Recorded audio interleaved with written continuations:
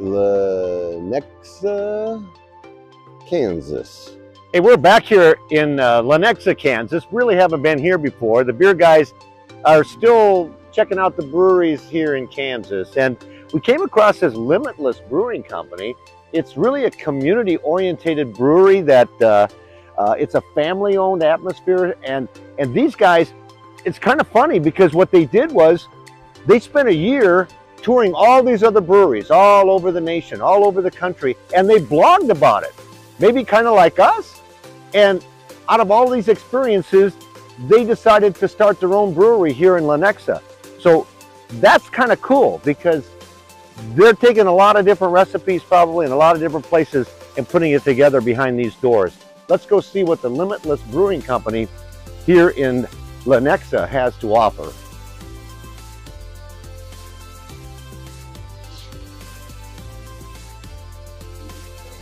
Hi there.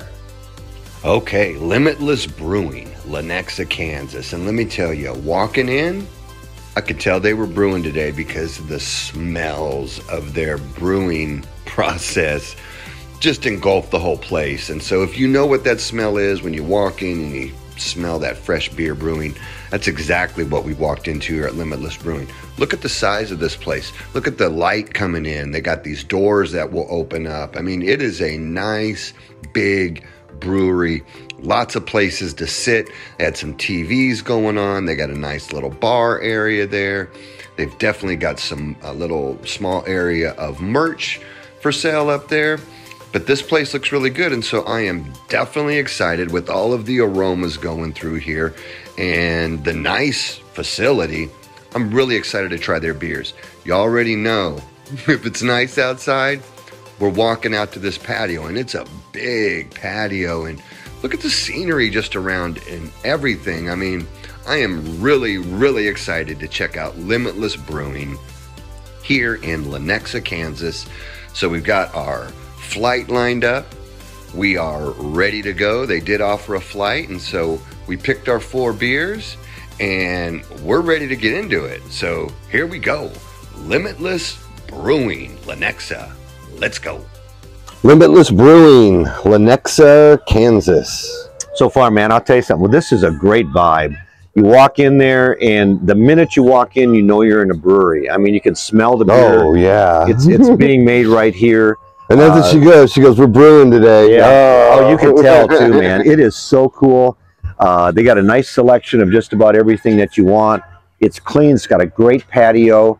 Uh, they've got uh, merchandise for sale. And you know how we always are kind of price worthy. Okay, they got great looking T-shirts, and guess how much? Twenty bucks. I told you. That's the price You got to have a twenty buck. 20 bucks. Twenty bucks. This thirty dollar, forty dollar bullshit is, you know, come on. I mean, we don't. No, really. You got it, and they're nice T-shirts too. Yeah. So they got swag. They got uh, a great presentation on this paddle. Yeah. You can see. Um, and we, we've got four choices here. Uh, we went, of course, with the Oktoberfest. They don't call it Oktoberfest. They call it the Märzen. Ma- Märzen. Yep. Uh, but uh, they also have a West Coast IPA, which you know is my favorite. Uh, we always ask the bartender, what is what is the one that knocks everyone's socks off? What is the one that puts Limitless on that bring people back? And she, that's the Juicy IPA, which I, I'm not a fan of, but hey, she says this is what makes uh, Limitless famous. It's called we the tried it. JoCo. Yeah, it's called the JoCo. And is that, are we in Johnson County? Yeah. There we go. Yeah, that's it. That's the JoCo. That's why they come here. And then uh, then we went with an interesting one. This Black lager. Don't know nothing about that, but she's like, it's roasted with Yeah. dark malty blend, and um, no, I'm I'm excited about Well, everything. So If their beer is as good as everything else about this place, we're going to highly recommend it, and I can't wait to get into it. You know, because it's a family-owned operation, and supposedly all their beers is from a collaboration of every place else that they've been. So, I'll tell you, Oktoberfest, it's the season. and it's very comfortable out here. So I'm hoping. That is a really, really sweet. Uh, you could uh, taste the all the tones that make Oktoberfest so special. It's got an earthy, earthy feel, earthy tone. Uh, it's spicy. I mean, not not not hot spicy, but it's got like it's Mm, really good. That is a really good Mm. Oktoberfest. There's all sorts of spices going Yeah. on on that. Excellent. Not too much for pumpkiny, but it is no, a. it's it's it's oh, a- that's a great Oktoberfest beer. and I bet you because it's a, it's a Mars. Oh my! Oh, It's good. Definitely good. oh, that's a good beer, you guys. Especially this time of year. Coming out here, I don't see a. I, I, they might bring lanterns out here later on in the fall. I don't see a fire pit, but Oh um, yeah, lights and shit. I don't know, maybe. Oh, they got these side lights here going on, so maybe. Well, I'll tell you, the atmosphere is amazing. Got nice plants and Yeah. All right, here we go. It's the West Coast IPA. Um, I we don't know what the IBUs or the I or the alcohol content We is, don't. but um,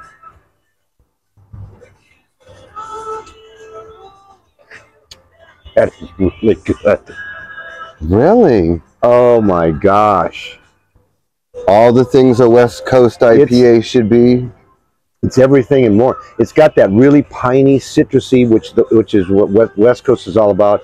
It's not fruity. It's got all of that that that that essence of what a West Coast IPA really is, and it's just it's not it's not too bitter. It, it doesn't have a bite. It's smooth. Mm. It's a it's. I got to take another taste. Mm, man. This shit. really. Okay. I'm gonna have to. I'm gonna. I'm gonna have to get some to go. I'm serious. That's the ultimate. That's so good. Oh my gosh, that is as good as IPA as I've ever had. You probably went. It's I probably too- okay, so all of those I rate furious because Yeah, I, that is I a very furious. that's very furious, that's guy. that, that that's is that is a pure West Coast Mm. IPA. As it, that's as good as that's it could be the best West Coast IPA I've had in Kansas City. oh definitely It definitely is because that's abs without a doubt. I've not tasted packs going home. anything that that good. six packs. It's going home. All right, JoCo, Johnson County. Yeah. Let's go. Let's see what you got to offer. This is what people come back for.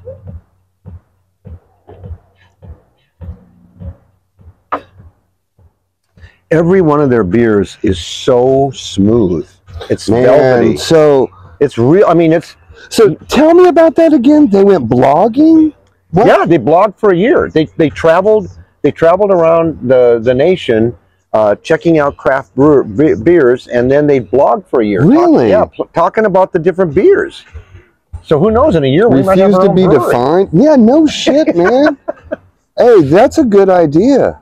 It's really good. This is, again, I'm not a juicy. I'm not a juicy IPA lover, but this is. Mm, those after.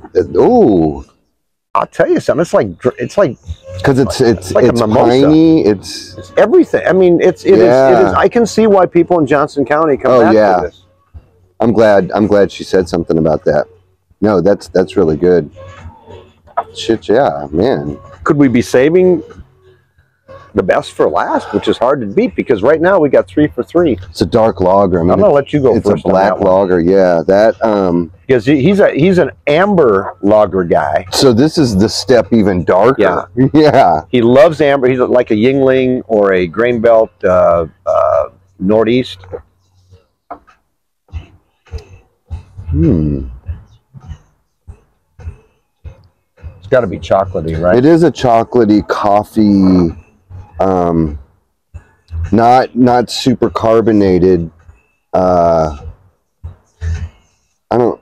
Somebody said that they should. I mean, I'm not should- like a super fan of that. Somebody said we should be bringing our own glass and pouring it in. Don't you think that's stupid? I mean, eh, would you like to? I mean, now, I mean, it's like, I'm okay. Oh, Oh my gosh, what phone call? that's the third one, y'all. That's good. you like that one? That is really good. It's different, right? I mean, it's it- what's it- that? I, I can't even I can't even tell Mm-mm. you I, I can't even tell you. Um, Because it's the dark malt that's giving Yeah. that yeah, totally, totally. that cookie that cook taste. Guys, snacks, guys. Looks like looks like they've got guy snacks over Hey, here, which man, is you know, made Kansas City famous. yeah. This is really this is really good too. So we're four for four. four for four here. So, um, yeah, this this place is definitely if you follow our, our podcasts, we we really we, we, we talk about what it what it what it tastes like. I mean, Yeah. the atmosphere, the the. I mean, we're we- we're not connoisseurs. We can't tell you about all the oh the all the texture. I mean, it's just do we like it or don't we like it? Yeah. And man, you These are all really good. You've seen us rip some before, but I mean, and uh, we tell it like it is. I, I, don't, I don't know if I could go in there and get two more of their beers like we did at some of the other breweries and say they're knocking them all out of the park. But it's brewing today. We can smell it. Their background says that they know a lot about uh, about brewing beer, yeah, they put time into Yeah. and doing research. and it's a family and- ty- ty- type atmosphere. It's so clean. It's so it's it's really a great place. It's located just off Highway 35, Interstate 35 in um, in uh, in Lenexa, Kansas. Yeah. So Put it on your list. Yeah. It is one of the best in the whole Kansas City metro area. highly recommend it. Limitless. Absolutely. Yep. Do it.